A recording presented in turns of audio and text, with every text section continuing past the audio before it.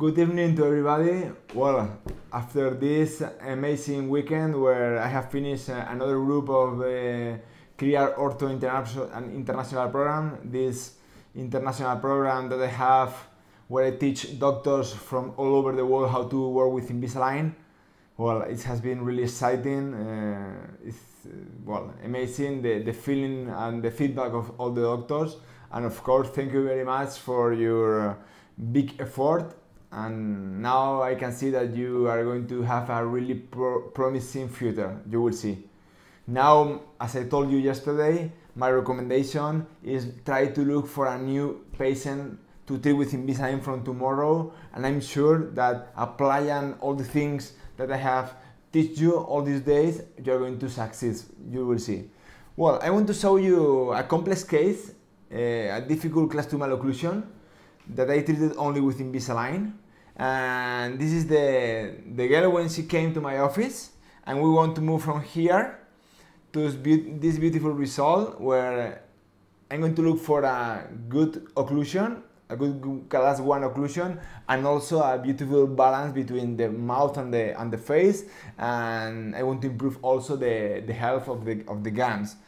When she came to my office, this is the situation at the beginning. Well, you can see here uh, different problems uh, unilateral class 2 here in the right side. You can see here, can you see here where is the canine, the class 2 malocclusion in premolars and in molars, and the midline deviation here in this between upper and lower midline. And look at the, the lack of space of this canine. We have, we have to think why we have this problem here, and also one of the the thing that I have to consider and I have to, to put all my effort when I do the planification, we have to look the big recession that we have here in the in the canines and premolars. So I have to to be really careful when I do my planification because I, I need to give beautiful uh, occlusion, good occlusion, but also I have to keep in health this this gum okay? This is the real class 2 situation. We, we see the perpendicular view. You can see here look how how severe is the class 2 in the right side and of course look at the lack of space that I have of this this canine. We have severe class 2 we don't have overjet. You know that the overjet is really necessary to solve the the class 2 and at the beginning we don't have. And we have a, a, a severe periodontal recessions. Well this view is for me, the, those ones who know me, that for me the most important thing is how is the shape of the upper arc. And it's really important to imagine what is the ideal shape of the upper arc that I need in order to align everything and then coordinate with the lower arc. You can see here that all this right side is mesialized if we compare with the, with the left side the x-ray where well we have to see how are the upper window molar because depend on the biomechanics of treatment that we are going to use we have to extract or not the upper window molar. Well this is the profile where well, you can see a big tension in the lips because we have upper and lower proclination of the of the incisors.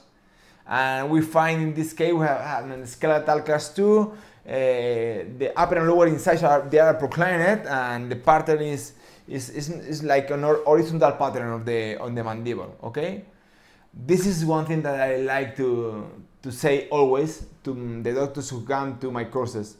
We have the big ability and the big opportunity to think before doing things. So the best thing that i you know i, I say to everybody when you have to a difficult case in front of you is take time, take time with the pictures, take time with the x-rays, take time doing your treatment plan before starting the case, okay? Well, we have here, this is the asymmetric arc that we have at the beginning and we need to, well, we can see that we have a proclined uh, canine that we need to retrocline and extrude at the end. We have to procline little bit these uh, incisors, well, we have to change the torque and the rotation of the molars. So we have to move from here with this asymmetric arc to this final position. So we have to move from here to here, where we have to to to achieve the same result that we have planified, we have to achieve at the end. So we are going to see how we do it. Different options. Some one of you can think that we can do it with extractions, with expansion and proclination, or just doing molar distalization. In this case, to decide what I look is I look uh, to the molars and I see that the right molar is mesialized if we compare with the with the left one. So if this one is mesialized, what we have to do is distalize this thing in order to make a symmetric arc and doing that I'm going to obtain the space to align the right canine. Look, if we see this contact point and look at where is the contact point, we have about 3 millimeters of mesialization of this right side. So this is the final movement that we have to do. So we have to distalize all these things. And well, this is what we do. Also, we need to control from the beginning to the end. We need to control the lower incisor proclination because we have a class 2 and we need overjet. And well, this is a joke that I do and think about why you do the things instead of how to do it. Of course, it's really important to understand and to learn how to do things, but before all these things, understand why you are doing what you are doing. So in this case, I decided to do distalization because I had a, a of all this right side so I need to recover doing distalization and with this recovering the space, I will create the space to solve the class 2 and also to put the canine in the arc, okay? So IPR in the lower arc to move from here to here, okay? To create the overjet. We need also some extrusion of this canine it's a difficult moment, but of course we have to think when is the moment to do the extrusion. If you try to do the extrusion if, and if you don't, you don't have the space, you're going to fail. So remember that first you have to create the space. In this case, we're going to create the space with the distalization, and after that, boom, you move the canine. Okay? So we start with the distalization. Every uh, every four aligners, we create. Look, we create the space with the second molar and first molar. Then more spaces we are creating we haven't moved yet this canine and now I put a mini implant. I use it as anchorage.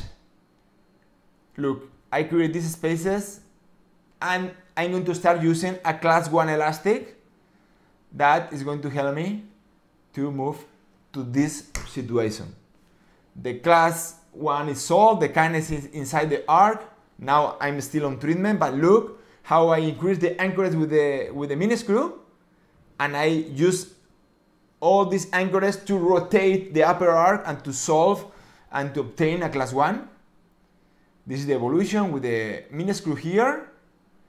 And at the end, after a lot of hours of planification and work with the chair, with all my staff, everybody working with sense uh, having in the mind from the beginning all the things that we have planned, and at the end, well, my when I say we have succeeded with this case because we have developed a good arc shape, we have used class 2 distalization assisted by the mini screws and we have controlled the lower incisor to move from this initial situation to this beautiful final situation where we have this beautiful class 1 in both sides, we center the midline with overjet, with, with everything. Now it's time to change these old amalgams that we are planning now to change for onlays. This we move from this initial situation to these beautiful arcs, upper and lower, coordinated and of course, if we give balance in the occlusion, we obtain this beautiful uh, smiles in our patients.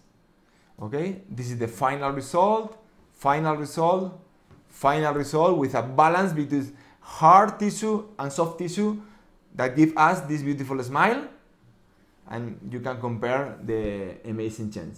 So I hope you learn a few things in, with this case. I'm really happy to share it with you.